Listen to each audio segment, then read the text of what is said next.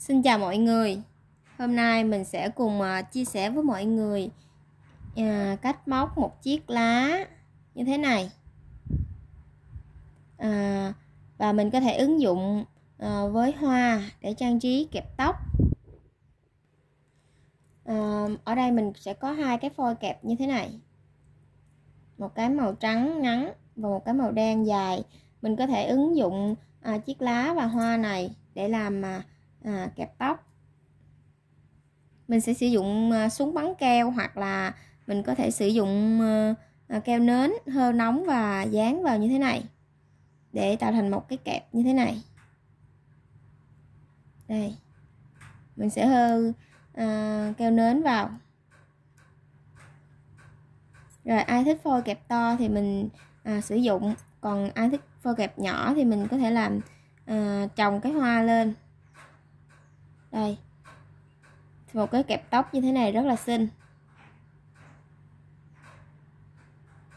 À, mình sẽ dán keo nến vào để kẹp, làm kẹp tóc cho bé. Rất là đơn giản và rất là đẹp. Rồi bây giờ mình sẽ cùng à, bắt tay vào à, thực hiện à, à, móc chiếc lá trước nha.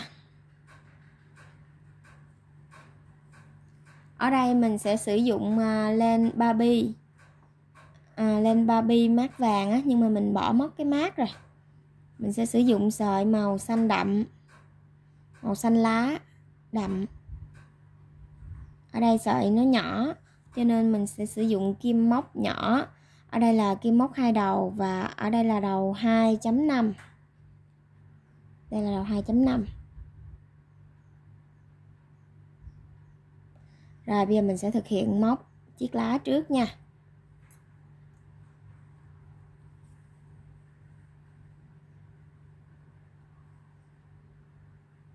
Rồi đầu tiên để thực hiện móc chiếc lá. Đây chiếc lá của mình như thế này. Mình sẽ bắt đầu móc từ phần à, dưới đây móc lên Và vòng qua. Rồi bây giờ mình sẽ thực hiện. Đầu tiên để móc được mình sẽ rút một nút rút Đây mình đưa sợi vào. Rút một nút rút chồng qua rút một nút rút lại. Rồi đưa kim móc vào cái vòng, kéo sợi, rút lại. Rồi bây giờ mình sẽ thực hiện lên 13 mũi bính. 1 2 3 4 5 6 7 8 9 10 11 12 13 Rồi ở đây mình đã có được 13 mũi móc xích. Để mình đem cái này ra. Nó, nó bị à, Nó bị lấy nét cái, cái phần dưới. Rồi ở đây mình đã được 13 mũi bính.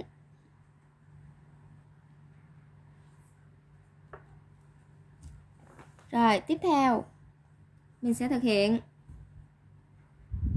quay sợi dây bính này lại. Ở chân tiếp theo này, mình sẽ quay lại thực hiện chân mũi bính thứ 12 thực hiện vào đây. Một mũi đơn. Mình nhớ xoay về chân bính thứ 12 đây. Chân bính thứ 12 thực hiện một mũi đơn. Kéo sợi qua, rút một mũi đơn. Rồi hai chân tiếp theo mình cũng thực hiện một mũi đơn. Chân tiếp theo, một mũi đơn.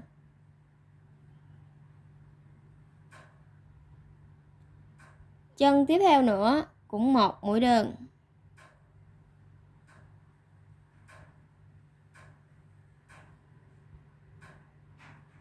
Rồi. Tổng cộng ở đây mình có 3 mũi đơn. Rồi, ở chân tiếp theo này, mình sẽ thực hiện một mũi nửa kép, lấy sợi. Thực hiện một mũi nửa kép lấy sợi lên. Rút qua luôn. Rút qua luôn. Mình được. Một mũi nửa kép. Tiếp theo. Chân tiếp theo này, mình sẽ thực hiện một mũi kép. Lấy sợi. Đưa kim vào chân tiếp theo. Rút sợi qua. Mũi kép mình sẽ rút qua hai lần. Rút qua một lần. Rút qua một lần nữa. Được mũi kép. Rồi, sau khi thực hiện được một mũi kép tiếp theo. Ba chân tiếp theo này, mình sẽ thực hiện mỗi chân một mũi kép đôi. Kép đôi có nghĩa là mình sẽ xoay hai lần. Kim, lấy sợi hai lần. Đây, hai sợi. Và thực hiện vào chân này, mũi kép đôi đầu tiên. Lấy sợi qua, rút qua một lần. Rút qua hai lần. Rút qua ba lần. Mũi kép đôi thứ nhất mũi kép đôi thứ hai, mình cũng lấy hai sợi. Thực hiện vào đây. Rút qua ba lần. Một lần. Hai lần. Ba lần. Mình được mũi kép đôi thứ hai. Đến mũi kép đôi thứ ba, mình cũng xoay hai lần kim trên sợi len, lấy được hai sợi thực hiện vào chân phía dưới. Chân tiếp theo, mũi kép đôi thứ ba. Mũi kép đôi mình sẽ rút qua ba lần. Rút qua lần thứ nhất. Rút qua lần thứ hai. Rút qua lần thứ ba. Lúc này mình đã được ba mũi kép đôi vào ba chân. Rồi. Đến chân tiếp theo này, mình sẽ thực hiện kép 3 kép 3 có nghĩa là mình sẽ quấn 3 sợi trên kim 1 2 3 lúc này mình có 3 sợi trên kim mình sẽ thực hiện kép 3 vào chân phía dưới, chân tiếp theo. Kép 3 cho nên mình sẽ rút qua 4 lần. Rút qua lần 1 rút qua lần 2 rút qua lần 3 mỗi lần rút qua hai sợi rút qua lần cuối cùng, lần 4 mình được, kép 3 tiếp tục, đến chân tiếp theo này, mình sẽ thực hiện hai mũi kép đôi chung chân. Kép đôi là mình sẽ quấn hai lần sợi. Hai. Và thực hiện chân tiếp theo, hai mũi kép đôi. Mũi kép đôi thứ nhất, quấn qua ba lần, rút qua ba lần.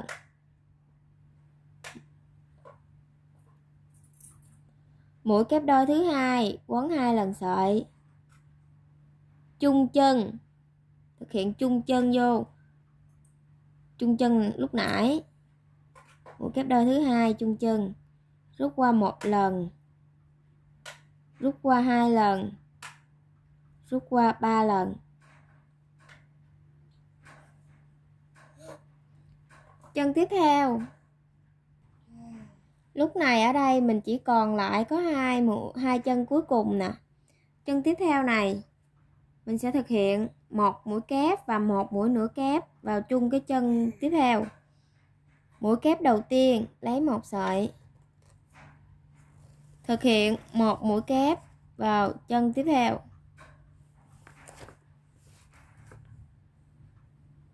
Mũi kép rút qua hai lần cũng tại cái chân này, mình tiếp tục thực hiện một mũi nửa kép, cũng lấy sợi. Mũi nửa kép, chung chân. Mũi nửa kép cho nên mình chỉ rút qua, có một lần duy nhất thôi, rút qua luôn. Rồi, mình còn một chân cuối cùng ngay tại đây. Đây, chân cuối cùng. Mình còn chân cuối cùng này, mình sẽ thực hiện một mũi đơn vào tại đây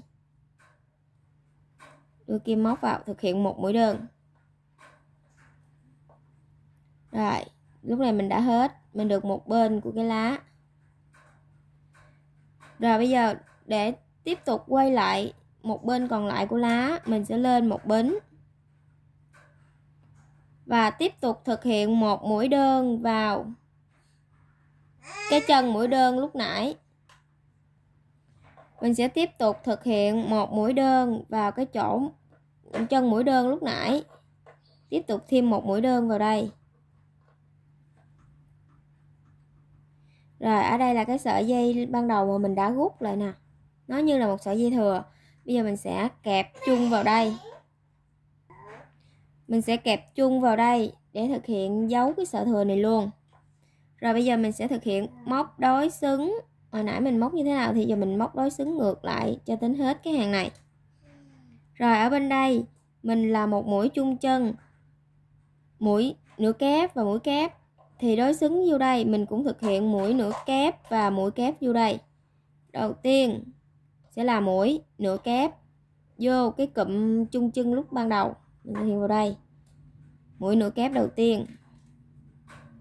Rút qua một lần chỉ rút qua một lần thôi. Rồi, tiếp tục, mình lại thực hiện một mũi kép vô tại cái chung chân đó luôn, lấy sợi, thực hiện mũi kép. Chung chân. Tiếp tục, tới cái mũi tiếp theo này là hai mũi kép đôi, chung chân. Thì mình cũng sẽ thực hiện hai mũi kép đôi, chung chân vào chung đây luôn. Cũng thực hiện đối xứng hai mũi kép đôi, chung chân vào tại đây luôn mũi kép đôi cho nên mình sẽ lấy hai sợi. Trong quá trình đó thì mình sẽ giấu cái sợi thừa này kẹp vô đây luôn nha. Rồi, mình sẽ thực hiện vào đây, mũi kép đôi thứ nhất. Mũi kép đôi nên rút qua 3 lần. Một lần. Hai lần. Ba lần. Ba lần tiếp tục, mình thực hiện tiếp một mũi kép đôi vào chung chân này. Quấn hai lần sợi. Thực hiện một mũi kép đôi vào chung chân, giấu cái sợi thừa vào.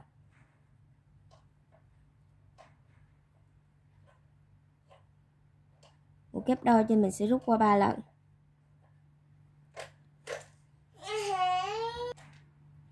Rồi, sau khi đã thực hiện hai mũi kép đôi chung chân, đến cái chân này hồi nãy mình đã móc một mũi kép 3 thì ở đây mình sẽ thực hiện một mũi kép 3 đối xứng vô đây luôn. Kép 3 cho nên mình sẽ quấn 3 lần sợi. 1 2 3 và thực hiện vào đây một mũi kép 3 kép 3 cho nên mình sẽ rút qua 4 lần.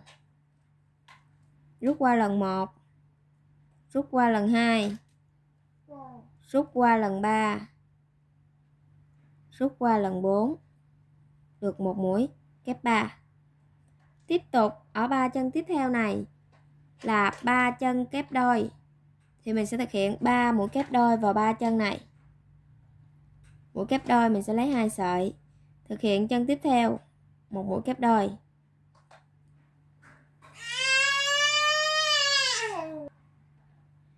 Mũi kép đôi thứ nhất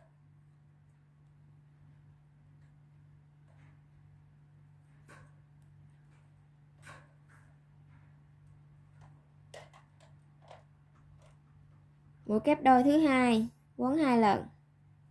Thực hiện một chân tiếp theo. Thực hiện một chân tiếp theo mũi kép đôi thứ hai.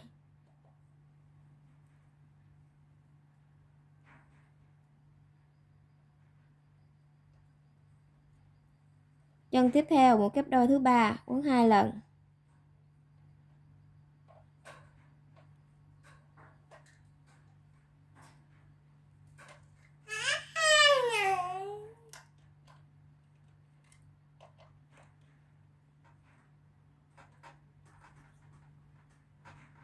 Một kép đôi thứ ba.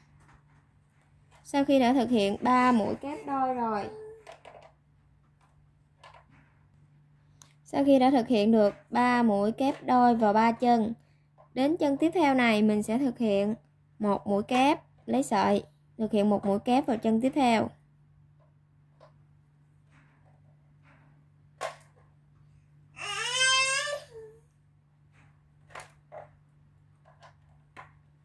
Rồi, sau khi đã thực hiện một mũi kép vào chân tiếp theo, chân tiếp theo này mình lại tiếp tục thực hiện một mũi nửa kép. Lấy sợi và thực hiện một mũi nửa kép vào đây. Rồi ba chân còn lại mình sẽ thực hiện 3 mũi đơn. Cho đối xứng với ba chân còn lại này. Thực hiện 3 mũi đơn. Mũi đơn thứ nhất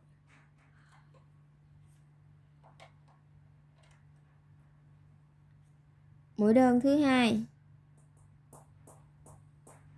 Và chân tiếp theo. Chân cuối cùng. Một mũi đơn và chân cuối cùng. Rồi, mình sẽ thực hiện trượt một mũi trượt vào cái chân mũi đơn ở ban đầu. Trượt vào đây. Một mũi trượt. Để kết hàng rút lại. Rồi bây giờ mình sẽ cắt sợi. Cái sợi ra. Và cắt sợi, mình chưa một đoạn.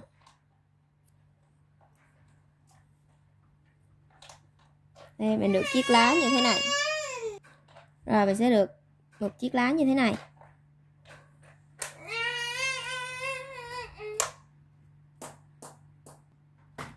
Rồi, mình được chiếc lá như thế này, mình sẽ cắt cái sợi dây thừa. Lúc nãy mình kẹp vô dư ra nè, cắt bỏ.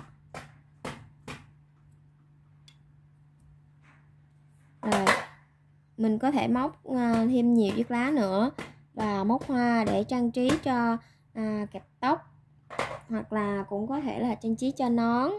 Rồi móc lá mình sẽ dừng ở đây mình sẽ có ra tiếp một cái video móc hoa sau nha.